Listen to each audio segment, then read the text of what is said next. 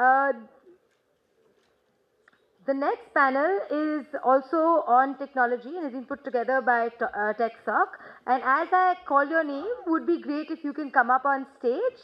Uh, the panelists for this, uh, the panelists for this um, uh, panel uh, are Shweta Rajpal Kohli, Director of Public Policy and Government Affairs, Salesforce India and South Asia. Uh, Do we have people coming on board? Yeah, okay. Uh, uh, the other panelist that we have with us today is Anu Acharya, Chief Executive Officer, Map My Genome India. We've got Shyam Divan, Senior Advocate, Supreme Court of India. And we've got Mr. Sanjeev Bikhchandani, Founder and Executive Vice Chairman, InfoEdge India Limited. And to chair the panel, we will uh, have again with us uh, Ananth uh, Padmanabhan, fellow CPR. Hi everyone. Uh, As, as we saw, you know, a lot of interesting themes have come up in the inaugural uh, speeches, uh, particularly issues on the whole conflict between innovation and regulation. And we have a stellar panel here today, and I'll begin with Shweta. Uh, so AI kept coming up a lot, you know, in, in all of this, right? And uh, the interesting thing to see now is how India is going to leverage all this data that resides here and all this activity on the digital economy to build an AI ecosystem. So earlier this year, we uh, saw the uh, Niti Aayog coming out with its AI strategy paper. So I'll begin with the paper because I have heard some of your views on the paper and the overall, you know, lack of coordination or coordination between various ministries. So what, in your view, uh, is is what we need really to push the AI uh, story ahead? Uh, thanks, Anand. I think uh, it's true. AI has become a buzzword now. When we talk artificial intelligence, I think it's it's now one thing that governments around the globe are trying very hard to regulate or put in place policies that would be meaningful. But whenever we understand a new technology, it's always the case that technology comes before regulation, and that's only fair because it's very hard for governments for policymakers, for regulators to keep pace with the technological changes that happen, and which is exactly what's happening with AI. But AI seems to be this this big elephant in the room that nobody really understands, but yet it's very important that governments are seen to be doing something about AI because uh, there are questions around will AI displace jobs? What is the ethical use of artificial intelligence? What's going to happen if algorithms are going to decide our lives? Uh, how will the future look like? And if governments are not seen to be regulating this, then they're probably not doing their job. I think uh, what what's important is for us to understand that it's not just something that every government needs to have an AI strategy because um, what we're seeing uh, in most cases is that overregulation uh, can always change it not necessarily in favor of the consumer, but it can just mess things up. Too many cooks spoiling the broth, and and, and I think that seems to be a bit of a case happening in India because uh, last I heard there were some some six committees within the government that were looking into AI. Just about every ministry now wants to talk AI because it is the new buzzword. It's something that's fashionable now. It's something that every ministry wants to sort of grab hold of, whether it's science and technology or it's uh, the electronics and IT ministry or it is uh, Niti Aayog or it is, you know, it's, it's, it's something that everybody wants to have something to do with. But I think if we, if we just step back and look at what's really happening uh, when it comes to the world of big data, technology, AI, and the need for regulation. I think the need for regulation is arising more out of a knee-jerk reaction and almost panic that has set in uh, within regulators and policymakers because of what we now term fashionably as techlash. So the technology backlash that we've seen, whether it's a Cambridge Analytica or it is uh, you know the kind of data breaches we're seeing around the world, all of those are leading us to ask the question that is the tech industry doing enough to regulate itself? Is there enough within the system to make sure regulations are in place when we talk about big emerging technologies? Or do governments have to step in and almost be excessive in that regulation because we cannot afford to have some of what we have seen?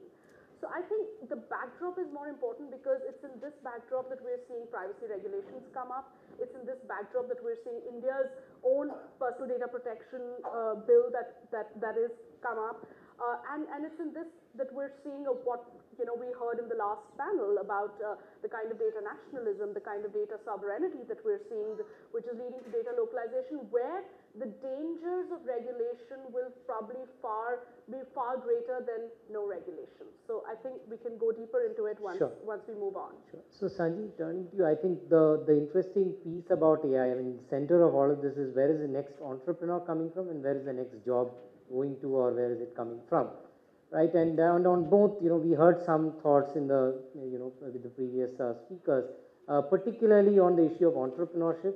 There is a narrative that, you know, India is turning into a digital colony and our entrepreneurs do not have enough data and they are not going to be able to do enough. And you have the Chinese model as the, you know, uh, sort of mirror to this whole uh, story. So, what are your thoughts on both these issues and where we are headed? Sure. Uh, is the mic on? Yeah. Uh, see, as far as this uh, digital colony thing is concerned, I think the government of India took a decision long back that look, we will be a relatively open economy uh, as compared to, let's say, a China. Right now, either you reverse that decision uh, or you live with it. Right now, if you live with it, and I think the decision has been, and now that maybe the horse has bolted. Right. If, so if you live with it, uh, then you know there will be international competition. But the truth is, we run Naukri, and Naukri has faced international competition since 2001, right? And we've only become better because of it, right? And it's not as if Indian companies can't beat foreign companies. You put your mind to it, you devote enough resources to it, you work smart, you can do it. So in 2001, Monster came in. Uh, a little bit after Dice came in, uh, you know, LinkedIn has come in, Indeed has come in, and now Google has got the jobs. We are still competing, right? Now, I'm not saying that we will all, we will definitely win, but we are competing, and I think we're doing a good job of it. And quite honestly, you know, there are five, six buzzwords which are used in a cluster, right? So it's uh, big data, machine learning, AI, algorithms, analytics, and blockchain. Six of them, right? And you ask them, you know, what exactly do you mean? You know, very often they can't explain it, but you know, they have, they're there. You know, you got to worry about it, right? Now we've been doing stuff in Naukri, uh, which today is called AI, but we've been doing it for 10 or 12 years, right? We didn't know what to call then we were just doing it, right? So let me give you a little example.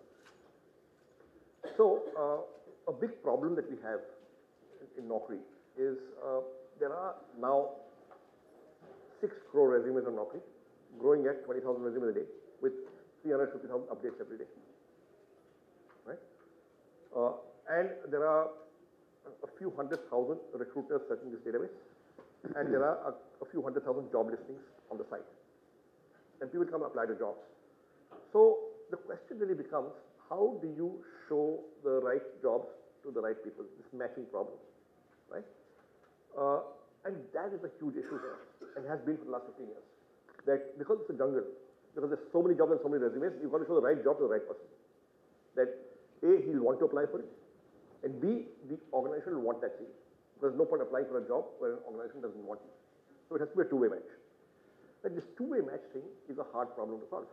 Now, without giving away any trade secrets, we've been working on it for more than a decade now, and we are making progress, and we've made significant progress.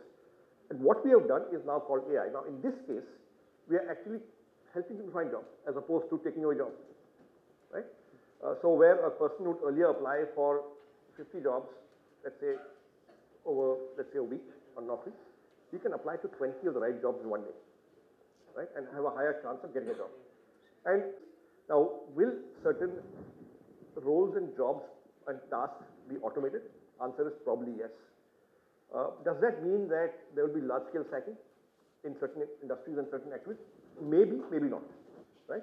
We have seen, you know, typically what happens when a new technology comes in and certain, you know, tasks get replaced by, by technology, uh, what happens is the, the companies and organizations uh, that are based on the earlier model don't necessarily decline, just stop growing, right?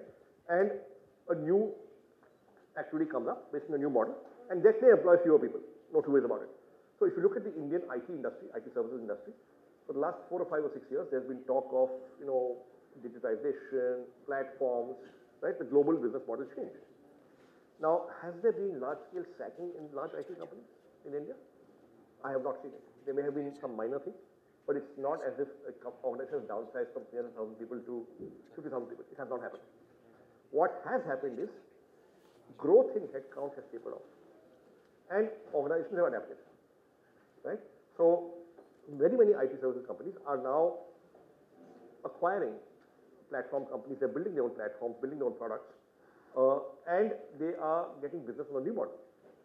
Now, if the old model had continued, would they have moved from 300,000 to 600,000? Maybe. So those new jobs are not being created to the extent that they might have otherwise been, right? But the truth is you don't have a choice because today you are facing competition from Brazil, from Chile, from Argentina, from Portugal, from Spain, from East Europe. Basically, you had an advantage that uh, you had a very large number of engineers who could do these things. And so the model was, hey, you have a problem? We'll throw 4,000 bodies for three years and then solve the problem. Now, when platforms are coming, you don't need 4,000 bodies. You need 60 people, 100 people. And 60 or 100 people you can find in Romania, you can find in Bulgaria, you can find in Portugal, you can find in Spain, you can find in, in, in, in Brazil. So suddenly new competition has emerged. And if you don't adapt to the new model, you are going to go out of business. And so there's no choice but to adapt. Second is, look, in the internet world, with communication being what it is, uh, in the telecom world, with data flows being across borders, uh, competition is global. There is no question about it. And you have to be globally competitive. To be globally competitive, right, you have to then be at the cutting edge. And you cannot be at the cutting edge if you're not facing global competition. You simply won't stretch. Right? We would not have improved the way we have improved if there was no competition. We would have still been where we were 20 years ago. So there is no choice, you have to embrace it. Uh, now, let's say a chatbot replaces a customer support person. Right? Uh, so a chatbot comes in, will that actually replace a customer support person or will the customer support person then migrate to a different kind of job description? I will look at what the chatbot is saying, I will audit and if I find something wrong, I will intervene. Or the chatbot doesn't satisfy a customer, it, the call will be routed to me? Or maybe the, the availability of chatbot will massively increase the number of customer queries. We don't know yet, right? Uh, if you if you look at the mid 80s when uh, the Rajiv Gandhi government was in power and you know it was first talked about we will get computers into banks and government offices there was a lot of apprehension that it will take away jobs. The truth is it didn't take away jobs. Right? You were able to do, achieve much more with the same number of people, hopefully over time. New jobs were created. A whole new industry was born. 4,000 engineering colleges came up to, to cater to needs. So, so, you know, the truth is it's, it's a changing world, it's an evolving world. What will happen, we don't really know. But there are many possibilities, right? What has happened in the past is that while technology may have changed the nature of certain jobs, right? It has not taken away so many jobs, has stopped the growth in certain kind of jobs, but other jobs have increased. Right. Right? Now, if that, if precedence is, uh, you know, if, if that is taken as a precedent and you would say history might repeat itself, maybe that's what will happen. But we don't know for sure. But we've got to keep, you know, keep our eyes on the ball. That's what I say. Keep Right. your eyes on the ball. So I'll come back to you with some of these ideas around skilling, for instance, which is a central part of the piece then, right? I mean, because that's a place where policy could make valuable interventions. Uh, but Anu, coming to you, the Chinese story has, you know, been a, a kind of a dominant, you know, presence all through these conversations today. And uh, interestingly, you work on a sector where, you know, it's really sunrise tech, uh, which is at the intersection of biology, digital, and, you know, that whole convergence, which, uh, in fact, the secretary was also speaking about, right? And there, uh, a few weeks ago, the world uh, woke up to the news that a Chinese uh, uh, researcher has basically uh, done gene editing on a human embryo. Uh, and and uh, part of the reason could be that there are no clear ethical parameters or barriers or boundaries, but you know where we are, that may not be you know how how we are addressing this whole issue. So, in your view, uh, how is India poised to take on this next wave of uh, innovation and, and growth? And then, uh, what do you think we need to do from a policy standpoint, particularly? Thanks, thanks, So I think when you look at what happened with the Chinese, um, the CRISPR I think they started work on this many years ago. But I think no one really thought that they would actually come up with a live, you know, actually they said there was a live birth that happened with uh, gene edited embryos. Now the motivation of, an, of a person who's actually doing that is to actually eliminate disease, right? So he started saying, I'm going to edit this gene which will say I'm going to eliminate cholera, various other things. Now that's a very noble cause from a individual's perspective, a scientist's perspective, and I think those kind of things will continue to happen. Uh, now, while the rest of the world was saying that we will make these global, like we'll make these standards, ethical standards, the problem, and I think also Sandeep touched upon it, there's a global missing reason, right? If one uh, person in the world does it, I think people want to access that technology will ultimately go there unless there is a global standard for regulation across the world. So especially when it comes to editing gene embryos or otherwise, if it is not allowed in any part of the world, it's fine. If it's allowed in any part of the world, I think someone or other is going to go there. I think that was true even of, uh, there was a scientist who did something where uh, control your, uh, through your brain, you want to control your, through, through your thoughts. And he went to that country and started doing experiments. So I think you know, from a scientist's perspective, you can't stop the scientist from going to any part of the world and being able to do that. So one, that part will always remain. So regulations have not only to be um, global, I mean uh, national, but have to they have to be more global in nature, especially when it comes to that.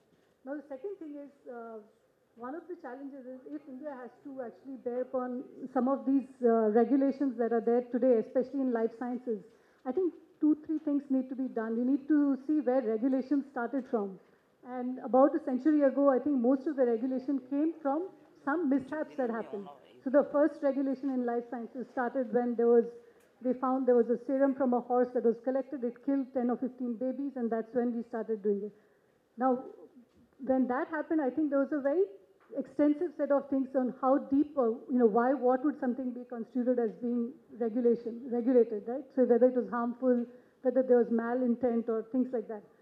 The challenge today is that while we already know that, we are not doing a very deep dive into all those factors. So if you want to do anything in life sciences, there are ethical implications for sure. There are also implications that might be of uh, how you misinterpret certain things. There might be people who might be able to use data in the wrong way. And then there are things that, are, that might potentially have implications in other parts of uh, activities that you do. So I think whenever any regulation has to happen, it has to be done with a very, very thorough analysis of not just saying this problem happened and therefore we take a knee-jerk reaction, but you have to really deep dive because there are so many interconnected elements. Because anything that you do in genetics is likely to also have an implication in agriculture, in nutrition, in fitness, in various other fields.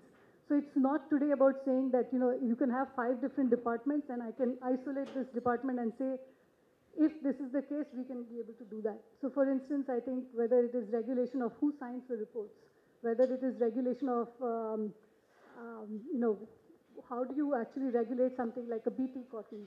Uh, if it is regul- all of these are not just impacting one specific part, it's impacting multiple industries. It's also impacting not just India, it impacts the rest of the world. So I think regulation today has to be done in many ways. I think India has done both good and bad in terms of uh, the regulatory aspects. I think in, in some cases, whether it was cotton, BT cotton or otherwise, I think uh, that was a good way. There was a second part where uh, a lot of industry um, bodies got together, created some uh, guidelines for biosimilars. I think that was a good uh, aspect of where regulation happened.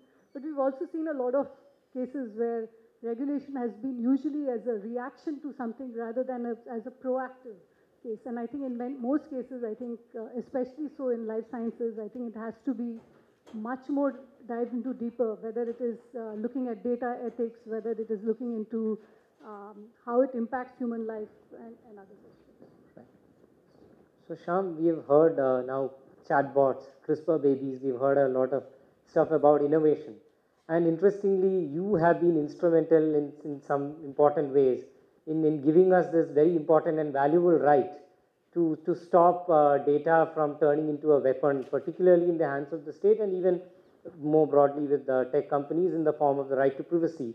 Uh, as we know, I mean, we have a nine judge bench verdict now which says it's part of our fundamental rights and subsequently it has been applied in the Aadhaar verdict. Uh, one could agree or disagree over the final set of outcomes.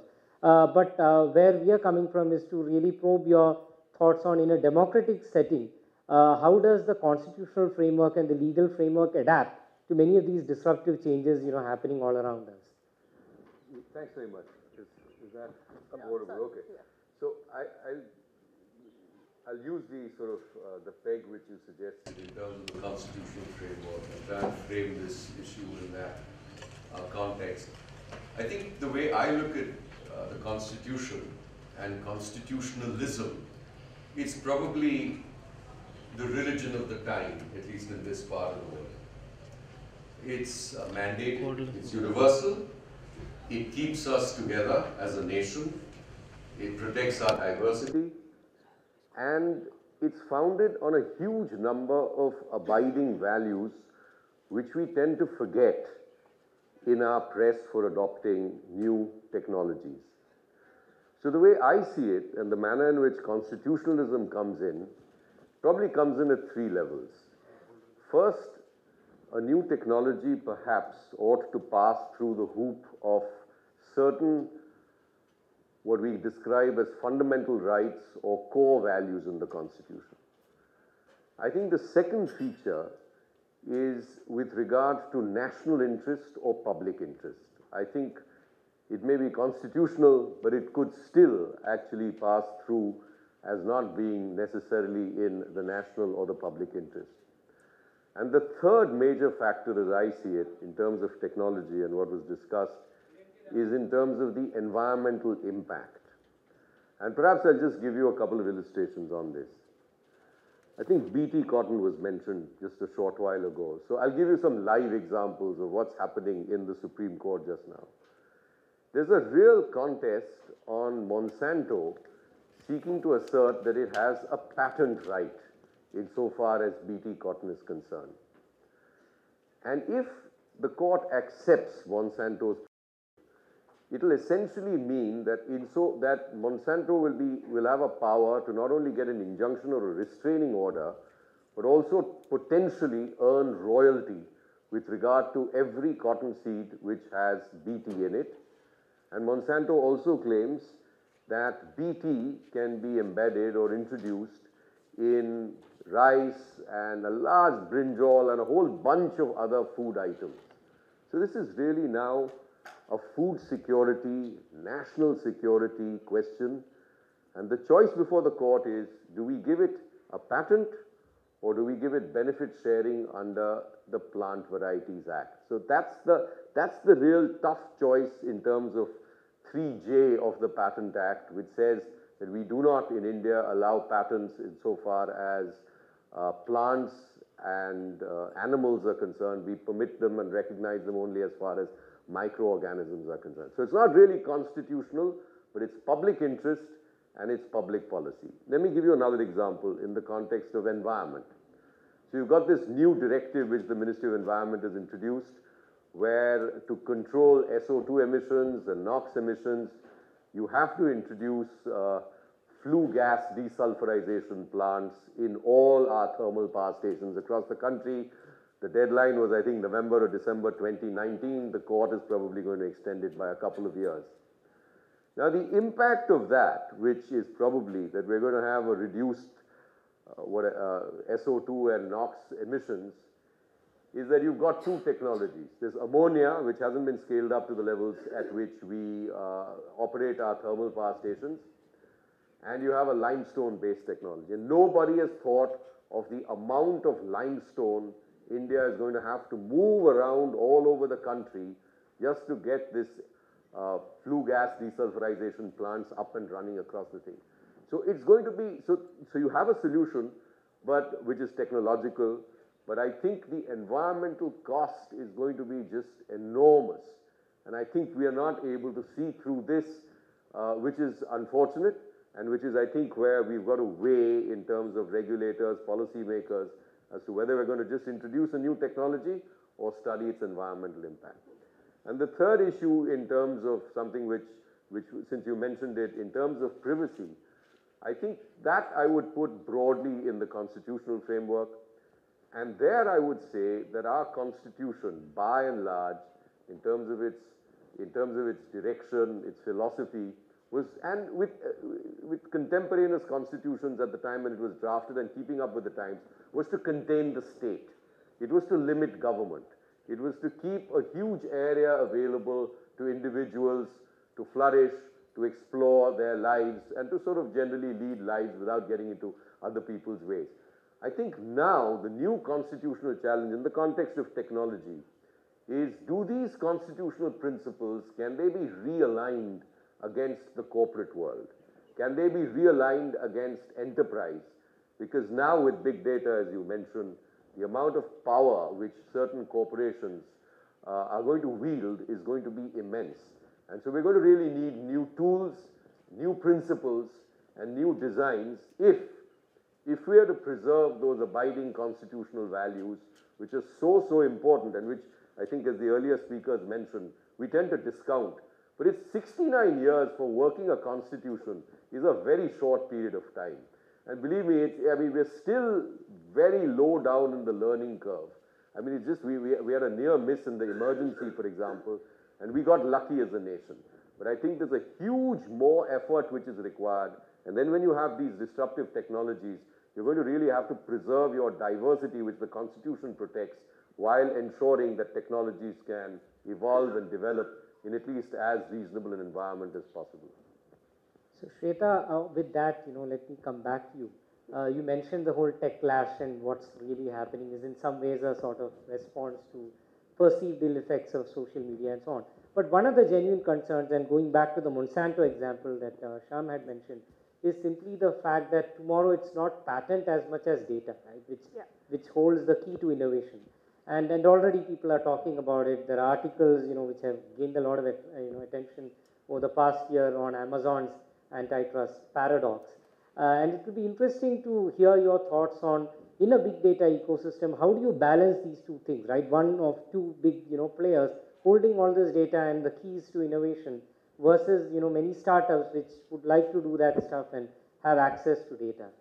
I think very important point because what you mentioned, balance, I think that's the key. Because very often when we talk technology, the debate gets extremely polarized. You're either talking that, okay, are you on the side of, of big data, Silicon Valley, the companies who are all out to get you, or are you on the side of regulators who are like, oh, rein it all in, otherwise, you know, it's like doomsday ahead of you.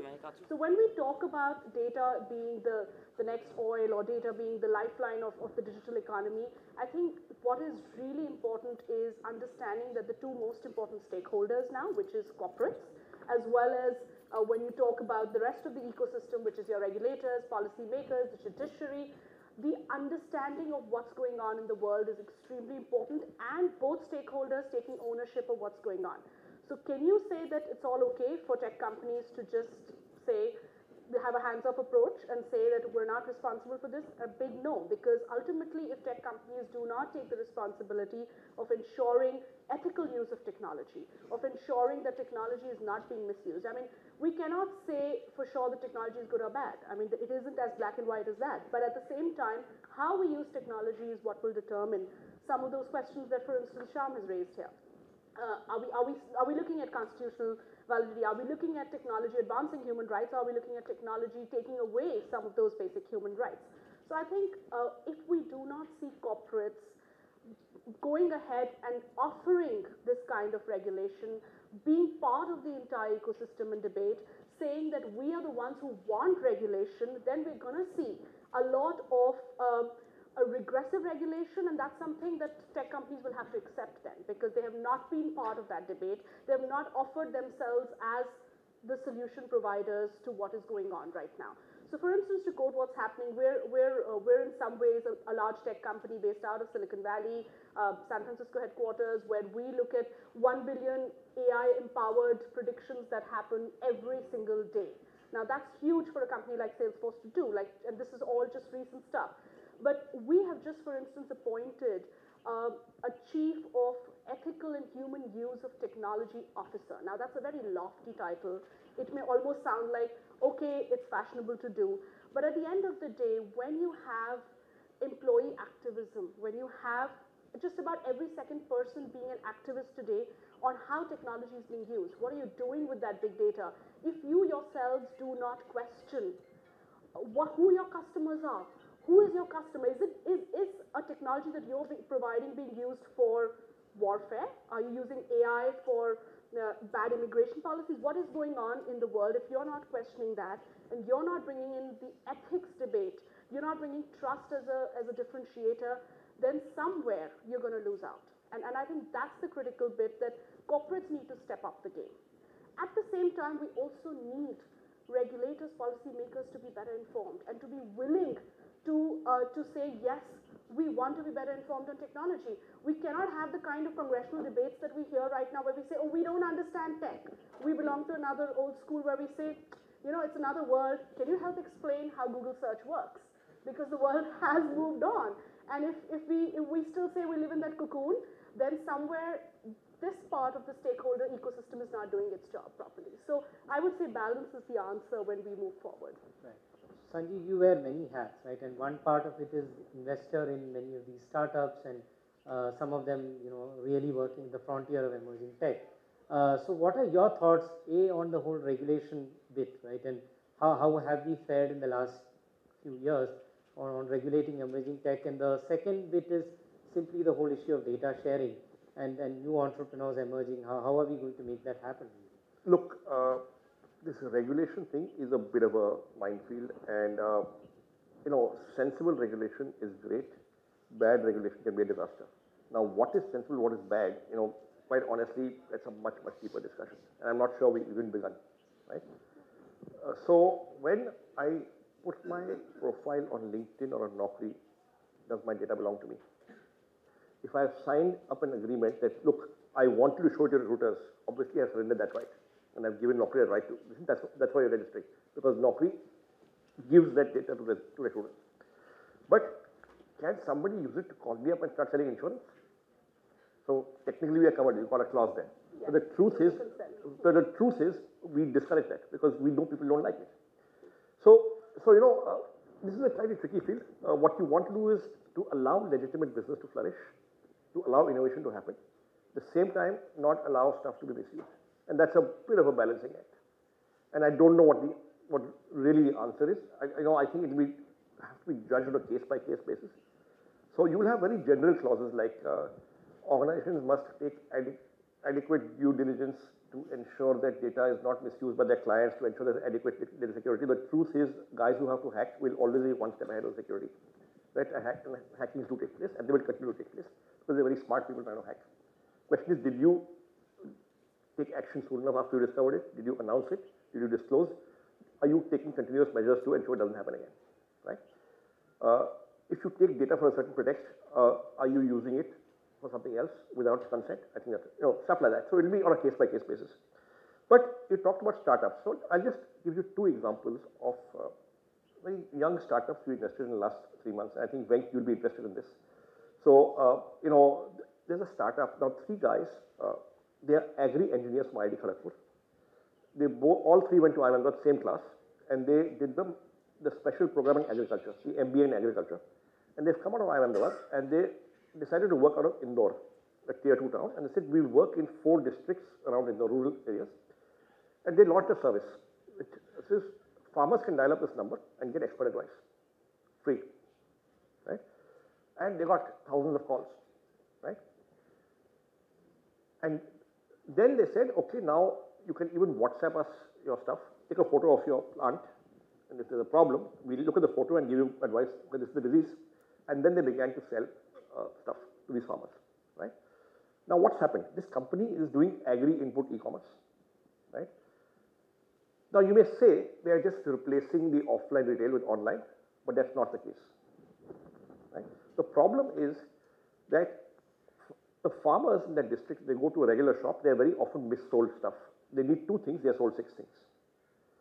And it is estimated that 25% of the stuff they are sold is counterfeit. So it's not as effective. Right? Farmers have begun to trust them. They're getting genuine stuff, they're getting the right stuff, the right advice, and here are experts who are giving it. Now, hopefully, now, now this, this company is now also getting data. Which farmer, how much land, geographically located where, what kind of soil, what kind of crop, what's he planting now, okay, and what's he going to plant next, and what did he plant last year, right? Now, as they spread to more districts, it's going to be more and more. Now, they have a legitimate right to use this data to further their business and to give better advice to the clients, and you know, and, and so on, right? To plan the inventory of products, to you know, to, to, to source better and cheaper, right? And the truth is, if somebody else comes in and tries to compete with them, they won't have that data. Now, if you're telling me that this company should surrender its rights to its data and show it to everybody, I don't think it's fair, right? The whole logic of a patent is that, look, I invested in R&D. I created an invention. Therefore, I have exclusive right to use that or license it for the next 17 years or however many years. I, mean, I don't know what the law says now, right? And that is a legitimate right which is given to, in India also, to very, very companies. So I should have legitimate right to my data. The data, I, uh, now each individual person's data is also his. So there would probably be dual ownership of data, the individual and also the company you gave it to. And then on an aggregate level, it's the company. I think that is a legitimate source of competitive advantage. Now, if this company had not been an Indian startup, if it had been a multinational or an American company, should the rules have been different? My answer is no. We are an open economy, rules are the same.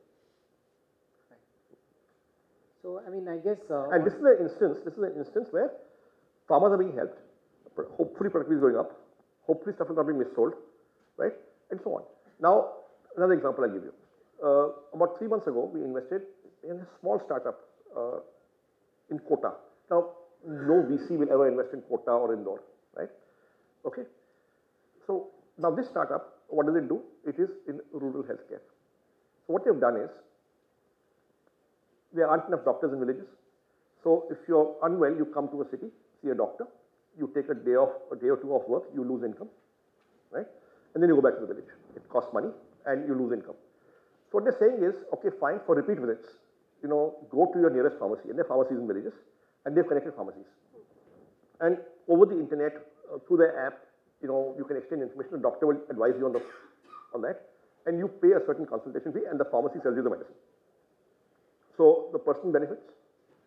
He's getting him, he's getting, um, uh, you know, medical assistance cheaper, closer to his house. The pharmacy benefits, it's selling more medicine. These people are not making money yet because they're not charging for this. Okay? But over time, as they gather data, this data will be valuable. That, you know, okay, which patient, what medicine, which doctor prescribing what, you know, and somewhere pharma companies can use it. And that's how they hope to make money. Somewhere, somewhere medical insurance companies can use it. And that's how they hope to make money eventually. Now, their business is based on data. Or let me give you another example. We invested in a second company in Indore, right? And this company is in the business of helping the small retailer compete better with online as well as organized retail. Right? And in the process, they're gathering data. Now, how do they do it? They simply service them better, that we will give you in six hours anything that's stocked out. A big company typically has a journey cycle of two weeks, right? So I don't have to invest so much money in, you know, 20 bars of soap. I can buy three and get it replaced faster as I'm, as I'm running out. Now, the small retailer loves it. Uh, the big companies don't mind because, you know, their stuff is, there are no stockouts, so they're selling more of their stuff. The small companies, which don't have access to, the, you know, the kind of distribution network that, that will reach small retail, they're also very happy. Now, when they gather data, they're going to arrange for small business loans, to these small shopkeepers that's using data. Now, will they have a competitive advantage? Will they have, if they have good data and they use it for themselves? And should they be bound to share it with competition? Answer is no. It's a legitimate asset they create. So, Anu, I think uh, what uh, Sanjeev points out interestingly is the whole data ecosystem and the various benefits there. But with health data particularly, there is the whole understanding that under law or the proposed bill and even internationally, that is sensitive personal data. And uh, in your it is sensitive at an individual level. It is not sensitive at aggregate level. Yeah, absolutely. So, of course, the, the one of the exceptions is you anonymize the data, right? But uh, I mean, I, I, I, have heard mixed views about what you can really get out of the data if you anonymize it vis-a-vis, you know, having some degree of personal identifiers there. Uh, but the larger question is, you know, in the healthcare context, how do you build an ecosystem of data exchange markets and so on, where you know you could do this in a more responsible manner? That's the first uh, point. And the second is going back to what uh, Shyam had mentioned about the environment. And like the whole biotech space with BT cotton and all these, uh, you know, eh, technological innovations, uh, the issue really has been, as you mentioned earlier on, to look beyond the product to look at the overall ecosystem. And how do you think India fares in that regard when it comes to science-driven uh, regulation as opposed to paranoia? I think the first question was how do people how do uh, companies, how they, in the healthcare space, how they can do this responsibly. And I think especially when it comes to genomics, I think most companies do that because um, I think there's a lot of um, concerns about genetic data because it's permanent. It's you know it's also an identifier in some sort because if you had your entire genetic code, you know that could serve as a potential identifier. Now, so as a result, I think for most companies and including Map My Genome, we would take the, you know, whenever we take uh, anybody's consent, it is to make sure that the anonymized data can be used on an aggregate basis. The, the way you do it responsibly is you make sure that, you know, ethically you explain to everyone what each of this, uh, what does uh, genetic testing mean, what does, what is DNA, and ultimately I think what does this anonymized data give you? Now, there are two things. One is for a consumer, if there is that data that is stored with us, for instance, you can get constant updates in terms of if there is new discoveries, if there's a new uh, understanding of what, um, what potentially can be a disease risk, that can be, you know, that you know later on, I think all those can be done. So on a personal basis, I think an individual benefits by having that information being constantly updated. But I think the bigger value that any um, scientific uh, driven innovation is driven on is on whatever has been done over the many over many years, right? So we all stand on the shoulders of giants. So if we didn't have data of many thousands of years of research going on, today we wouldn't be at where we are today in medical uh, science. So similarly, I think today all the people who actually uh, consent to giving their anonymized data are actually building on that science. So one is that. But I think the bigger question today is saying that can we define what is ethical? Can we define what is right? Can we define what is this thing on a overall global basis? Because I think, you know, for different times, different things might mean different things to different people, right? So I think the bigger question is saying, when I talk about, uh, when we talk about uh, regulation in the uh, life sciences space, I think the most important when we started off with was saying we value human life, that if you do something that kills somebody, I think that was the first part, right? The second thing was to say, was there mis, uh, malintent from the part of the company or an innovator to make sure that that is, uh, that was a problem? But eventually, I think today, for instance, I think after many years of um, uh, innovation and doing trials on, on animals, I think there is also the whole point of animal welfare, right? So you want to make sure that animals are also protected under that. But I think you couldn't do that unless you came through a certain set of, you know, steps that led us to where we are today.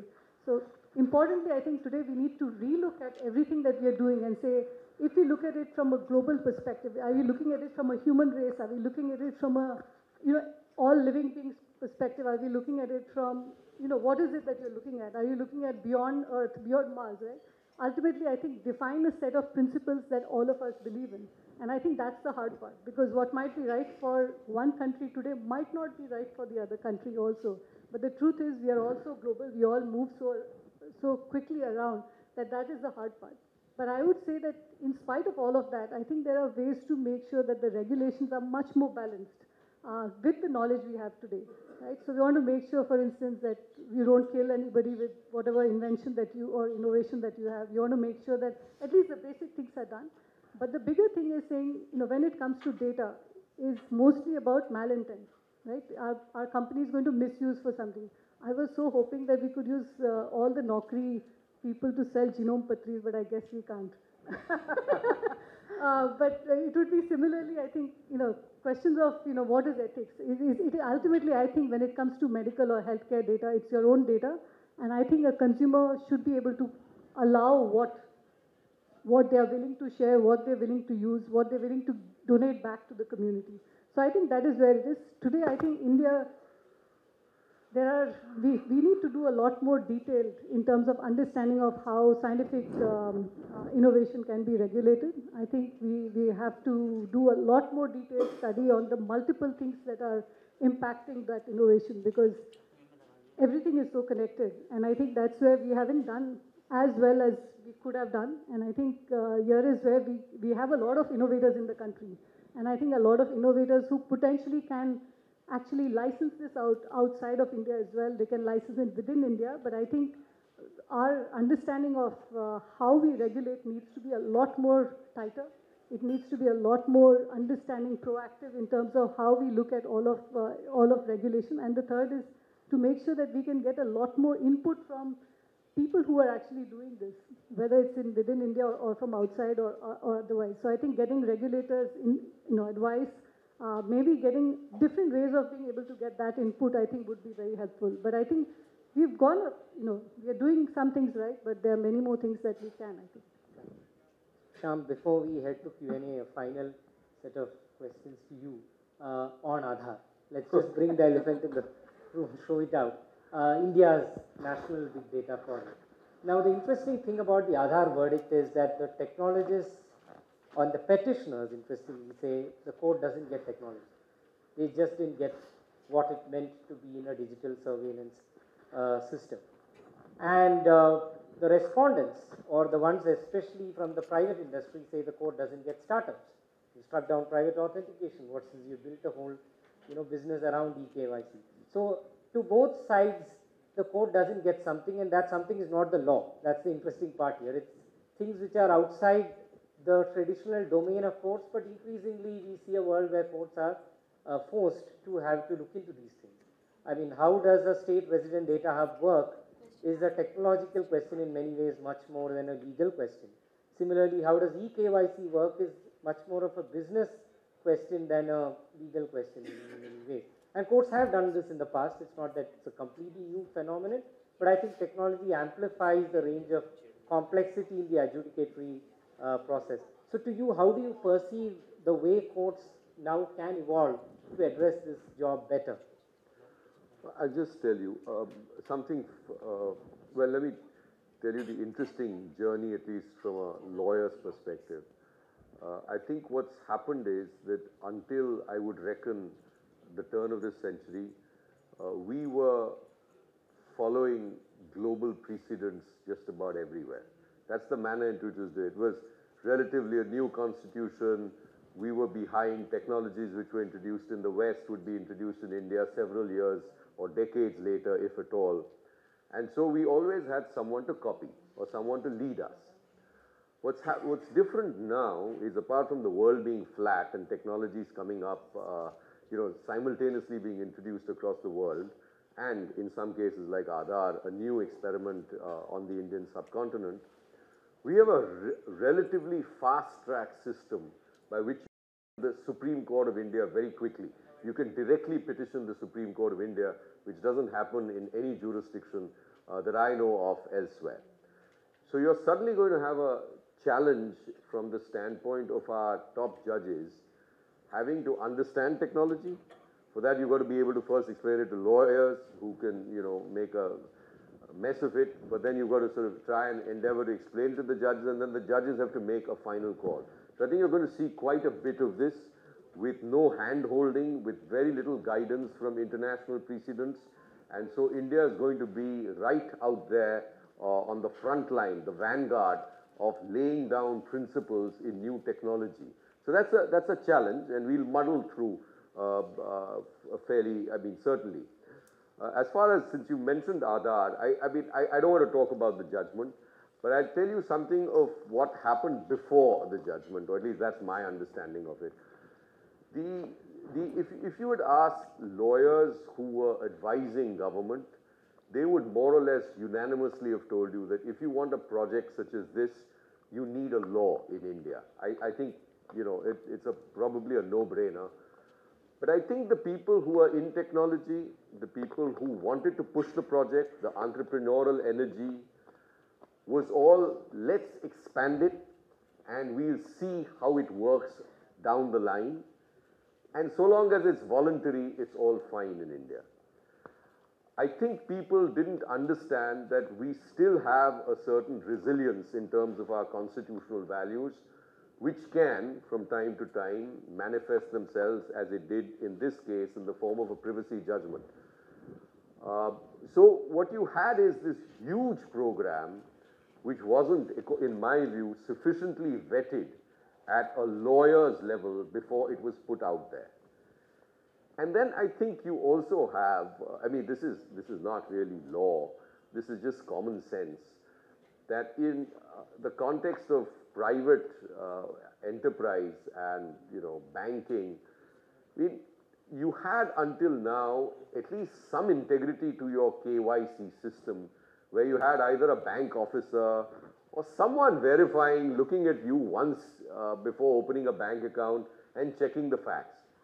you have dumbed down the system with Aadhaar to such an extraordinary extent where it's only your self-certification which matters. And if you're going to, if you're going to leverage your entire financial economy, so many other elements where KYC is required on a self-certification system, I mean, I think that's an extraordinary degree of trust uh, for any state to have, and then to substitute it. So I think, I mean, my, my answer is that perhaps the real, um, the, the, legal story in terms of some of the concerns which are expressed by uh, entrepreneurs, etc., could have been pretty easily addressed if people had looked carefully at the law before this huge project was, uh, was whatever, rolled out across the country. I think that is where the slip up took place more than, and then, you know, in terms of design, etc., but we can sort of uh, debate that uh, quite endlessly. If I could just add a little bit to what, yeah, uh, sure. what Shyam was saying, I think uh, a very, very, very um, important point here about why we're seeing some kind of um, issues with regard to regulations in terms of, you know, first explaining to the lawyers, then explaining to the judiciary, explaining to the judges. I think this is a very, very critical point because what we're seeing happen now is that under the garb of, in fact, you had mentioned national security in, in, in your last uh, intervention. You know, it's all very well to say, A, we don't understand it. It's inconvenient to go through the hassle of understanding it and diving deep into it. B, it sounds like it's not in national security interest. So you know what? Let's just go ahead and localize all data because it's convenient to do that. It sounds good. You know, we don't understand law enforcement access. We don't understand how technology can help us arrive at a solution which may be technically complicated, but let's dive deeper into it. But you know what? That doesn't make sense because it's more difficult. It's a harder choice to make. So let's go with the easier choices. Now, that's the big danger because that's where lies the danger of, of what I think uh, uh, Venkatesh Shukla was saying earlier. You know, are we going to come in the way of innovation? Are we going to come in the way of just basic technology? Or are we, as, as Sanjeev was saying, are we going to turn the clock back because, you know, earlier we didn't like the China model and now we just think China is great and they've, they've, just, they've just done it right. So we should just go ahead and ape China. Never mind what we've done with our economy all these years. Or, or to the point that Anu made, you know, how will you go ahead and innovate and even do on any of those genome studies? You talk about data. You require data for good purposes as much as there are dangers of misuse of data. So I think uh, we're just following a very convenient path because it's convenient for us to put in place regulations that are simple.